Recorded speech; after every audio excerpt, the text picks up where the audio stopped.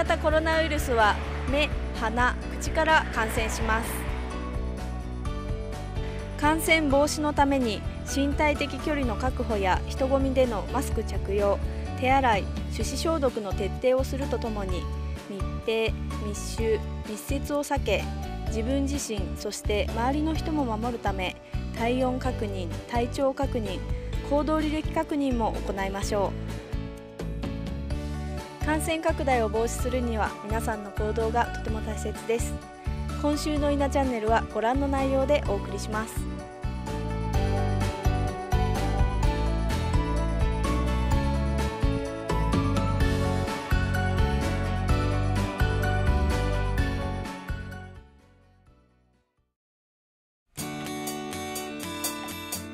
いや新居建てたいと思ってるんだけど土地の情報っていっぱいあって。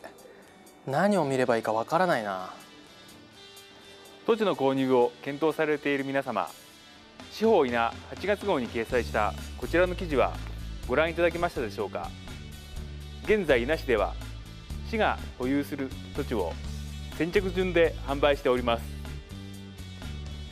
今回はそれぞれの物件をめぐりおすすめのポイントなどを紹介します。稲小学校にやってきましたまずは山寺高尾町住宅用地に行ってみましょう。この住宅用地は稲小学校校庭から歩いて3分。幹線道路から少し離れた閑静な住宅街にある物件です。現在売りに出ているのは3区画で区画2番の土地面積は781.55平方メートル。販売価格は1583万円。3番の面積は251.34平方メートル。価格は448万円。4番の面積は251.34平方メートル。価格は495万円となっています。周辺に大きな建物もなくて日当たりもいいし気持ちがいい場所ですね。そうですね。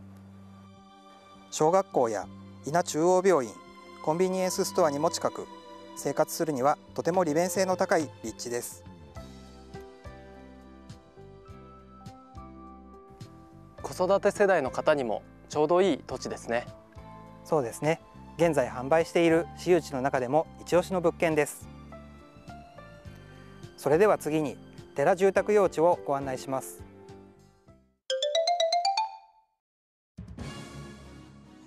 寺総合グラウンドにやってきました今からご紹介する物件はこちらの住宅用地です。こちらの分譲地も現在売りに出ているのは3区画です。区画1番の土地面積は377.56平方メートル。販売価格は376万円。2番の面積は370.91平方メートル。価格は377万円。3番の面積は376.17平方メートル。価格は374万円となっています。開けた場所にある住宅を建てるための造成が住んでいる土地で使い勝手の良いきれいな長方形をしています。また美鈴から美濃町を結ぶ幹線道路が近くを通り稲バイパス開通後はさらに便利になる場所です。これからもっと暮らしやすくなる可能性がありそうですね。そうですね。もともと9区画ありましたが残り3区画となっています。気になる方はぜひお問い合わせください。では最後に小出島住宅用地をご案内します。西春地下小出島区にやってきました。遠くにアルプスが一望できる眺めがいい場所ですね。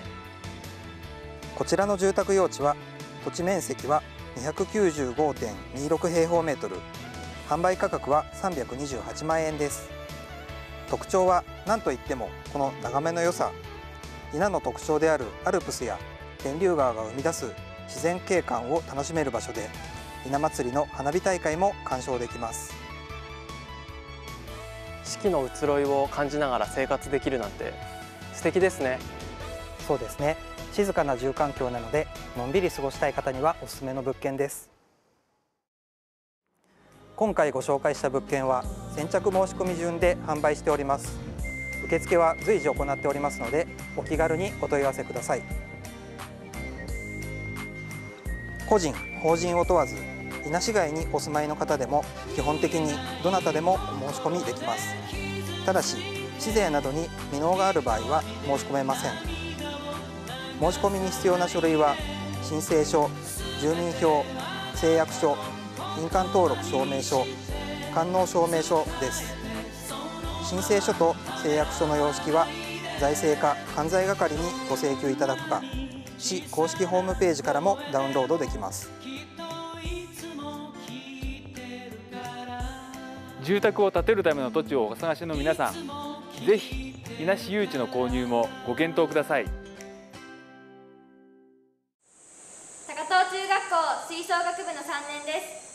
大会がなくなって大きな目標を失ってしまいましたが全力でやりきって悔いのない演奏をしていきたいです。まだまだ続きよ。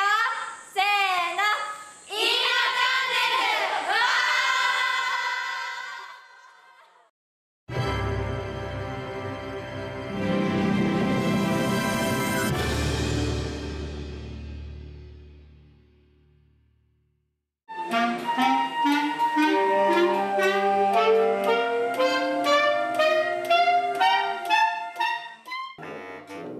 中学校吹奏楽部。30名の生徒で日々練習に励んでいます。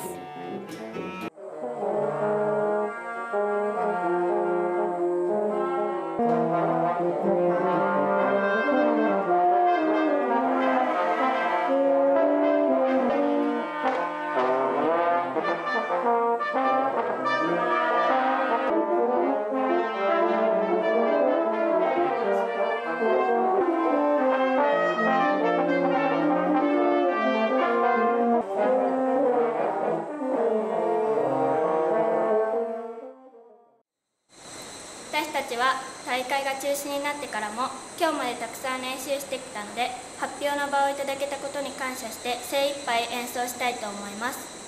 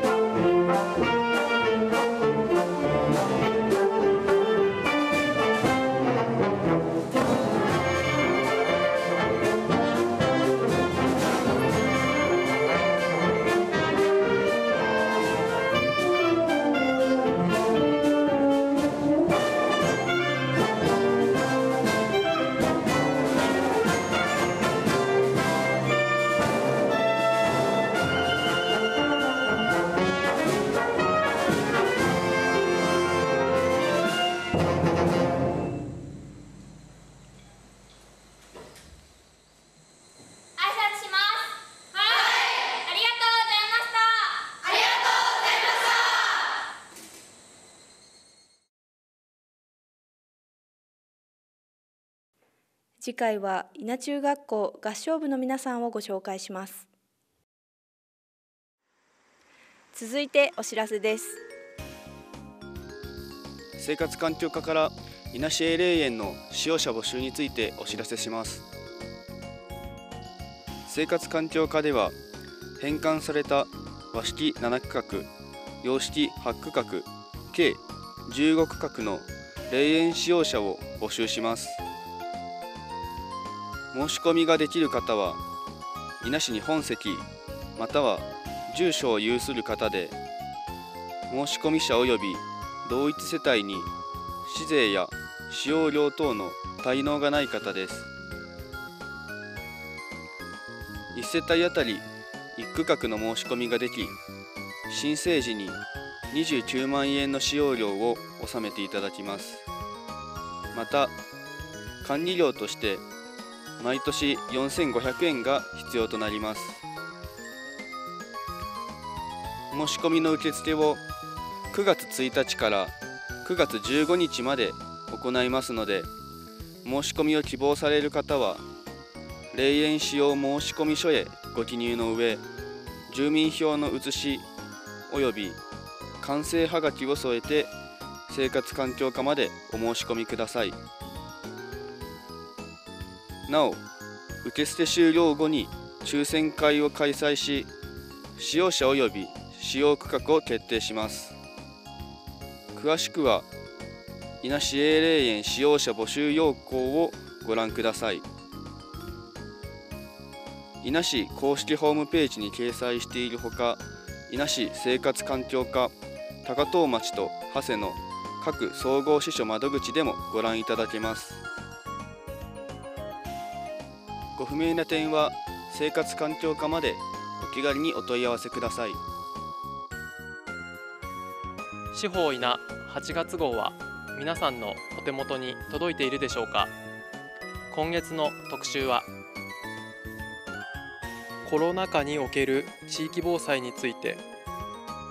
戦後75年を迎え改めて考える平和について。また節目を迎えた2つの友好都市特集などです。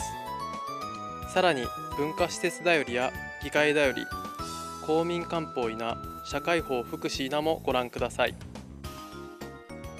その他にも8月号にはさまざまな情報や写真が盛りだくさんです。ぜひご覧ください。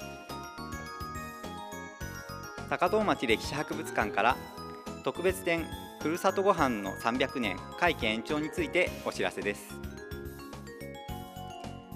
歴史博物館では会期を延長して9月6日まで第66回特別展ふるさとごはんの300年を開催しています。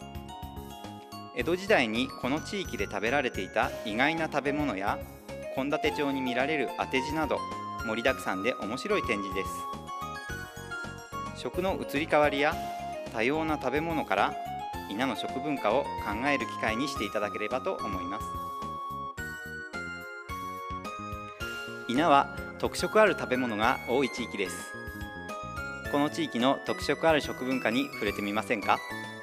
皆様のお越しをお待ちしております。税務課から今月の納税についてお知らせします。8月の納税は試験民税第2期と国民健康保険税第3期で納期限は8月31日月曜日までです。口座振替の登録をしていただくと納期限に口座から引き落としがされます。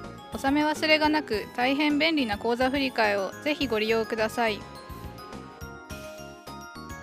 期限までの納付にご協力をお願いします。ご不明な点は税務課までお問い合わせください。企画制作課からぐるっとタクシー利用促進キャンペーンについてお知らせです。ぐるっとタクシーは高齢者を中心とした皆さんのさまざまな目的地への移動の希望に対して AI が最適なルートを判断し乗り合いタクシーが利用者を運ぶ新たな公共交通です。今年の4月から西アル地下と流西地区を対象に各地区と市街地を結んで運行しており今後は市内全域の運行を目指し段階的にエリアを拡大していきます。対象者はそれぞれの地区にお住まいの65歳以上の方運転免許証を返納された方または障害者手帳や特定医療費指定難病受給者証をお持ちの方です。予約方法はとても簡単で電話やインターネットから予約することができます。またケーブルテレビに加入し専用チューナーを設置していただくと使い慣れたリモコンでケーブルテレビの画面を用いて乗車予約ができます。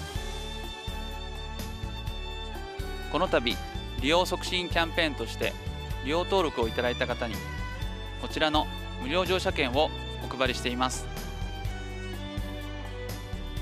ぐるっとタクシーを利用される際に運転手さんに渡していただくと運賃無料で乗車いただけます。1回の乗車につき500円かかるところを無料でお試しいただくことができます。乗車券の配布と利用期限は9月末までとなっています。ぜひこの機会にぐるっとタクシーの利用登録をご検討ください。ご希望の方はお気軽に企画制作課までお問い合わせください。運行地域の皆様の必要なお出かけの際にぐるっとタクシーを交通手段の一つとしてご検討いただければと思います。多くの皆様の利用登録をお待ちしています。8月は市内の路線バスにどなたでも1回10円で乗車できる10円バスの日が毎日実施されています。